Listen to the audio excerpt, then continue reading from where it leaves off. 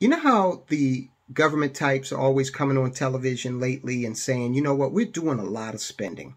But if you're in the middle class, you don't have to worry about it because we're going to stick it to the evil rich. There will be no tax increases on the middle class. Well, guess what? That's a lie.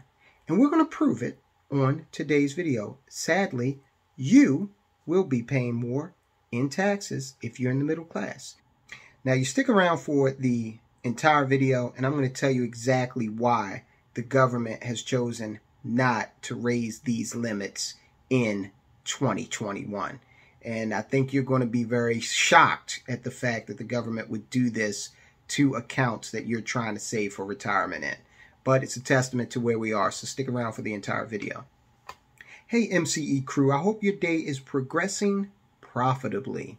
Today, I've got some good news and I've got some bad news with regard to the qualified accounts. So 401k, IRA, um, Roth IRA.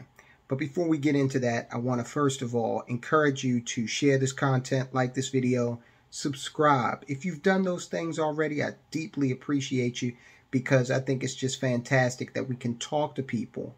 The purpose of this channel, talk to people about financial independence, about figuring out how money works so you can get it working for you. And we can spread that message all over the globe. So that excites me. I appreciate you. Now let's go ahead and get right into it. And as always, you know, I'm going to uh, link to the article so that you can start your research on these issues. Now, uh, you probably have a qualified account. You might have a 401k with your job or an IRA that you set up on your own. But this article is coming out of Kiplinger's Bad News on IRA and 401k contribution limits for 2021. Bad news on IRA and 401k contribution limits for 2021.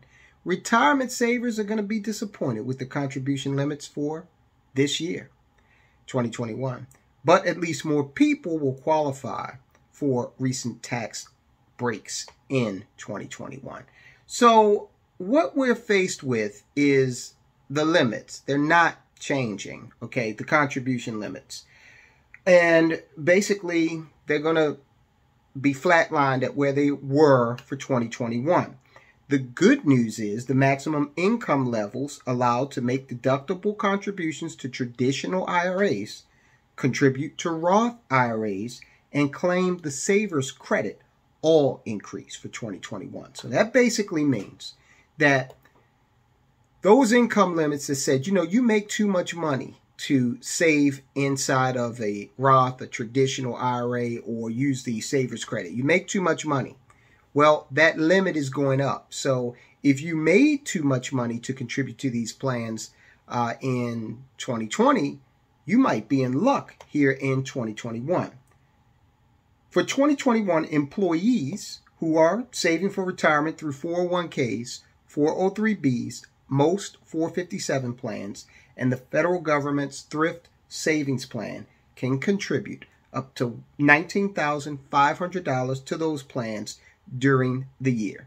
That's the same contribution limit in place back in 2020. The catch up contribution limit for employees age 50 and older who participates who participate in these plans also holds steady in 2021 at $6,500 for a total contribution limit of $26,000 for employees 50 and older. That's very important. Uh, if you are 50 or older, remember that 59 and a half age is the point at which you're going to be able to utilize uh, the funds within those accounts and not get penalized for them. So if you you know, weren't able to save as much in 2020 due to maybe, uh, you know, job loss, or maybe it was just that you were like, hey, look, I got to keep my powder dry and, you know, keep some cash on hand because of the uncertainty of things. Well, if you're 50 or older, you can contribute up to $26,000 to those accounts in 2021. So that might help you catch up.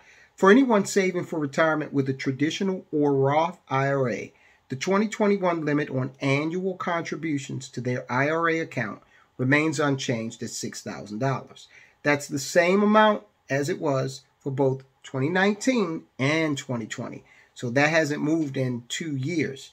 The additional IRA catch up contribution for people 50 and over is not subject to an annual cost of living adjustment and stays at $1,000 also, for a total contribution of $7,000 for IRA savers age 50 and older. Okay, here's where we get into the heart of the matter. If you're contributing to a traditional IRA, the, the deduction allowed for your contribution is gradually phased out if your income is above a certain amount.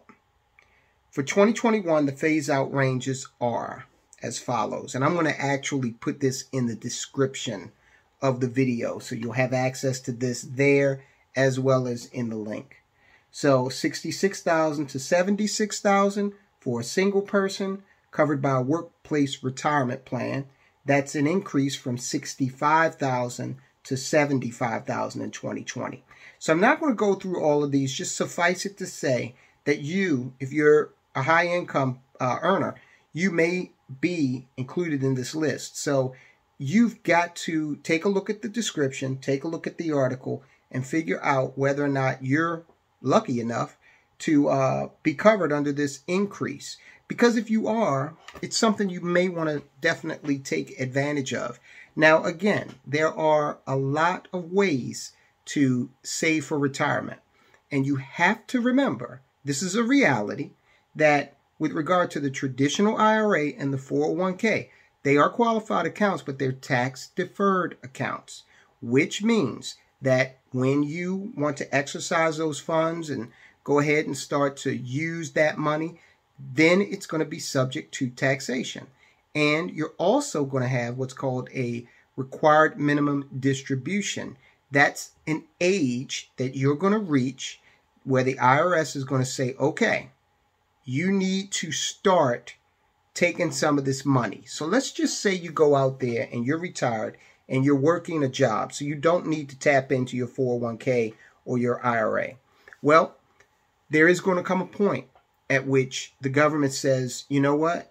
It's time for you to start taking these minimum distributions because we want to get paid. We want tax money.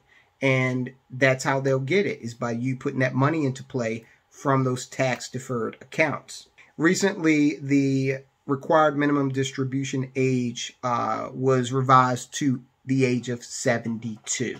Uh, that's when you have to start taking that money out.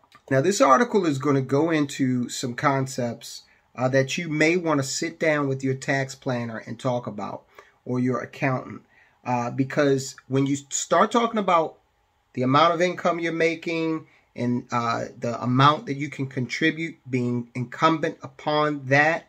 Uh, that is something that you do not want to uh, mess up on. You don't. You you got to be precise, and so you're going to need the help of your professionals, your team, your accountant, your CPA to help guide you based on your specific situation. But suffice it to say, the heart of the matter here is that while we will not see an increase in your ability to uh, contribute more money into these qualified accounts uh, for 2021, you will find that uh, you're able to contribute, period, at uh, income levels that are higher this year than they were last year.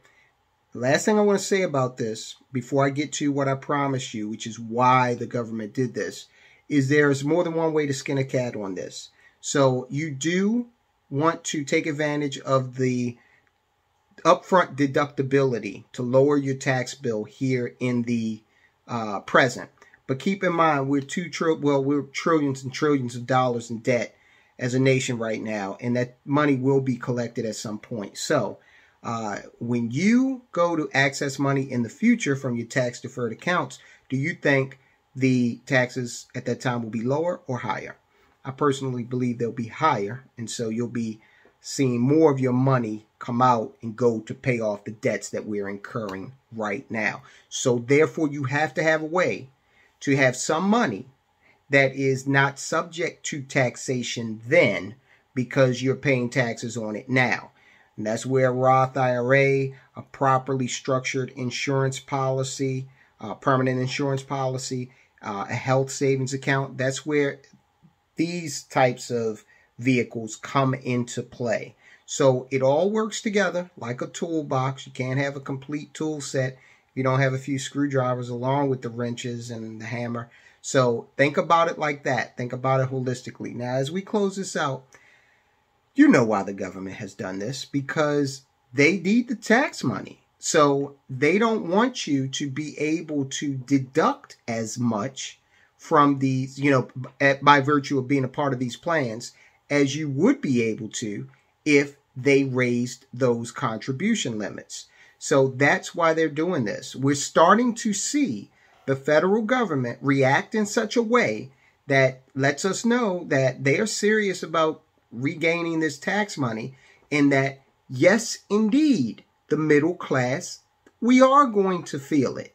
Remember, they always say on television that the middle class is not going to get hit with any new taxes.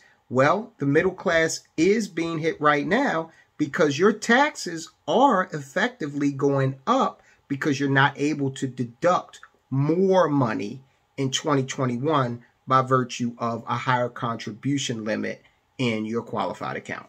All right, so I hope you've enjoyed this video. Pass it along. Uh, do your due diligence. If you've got views on this, let us know in the comments. And I look forward to talking to you soon.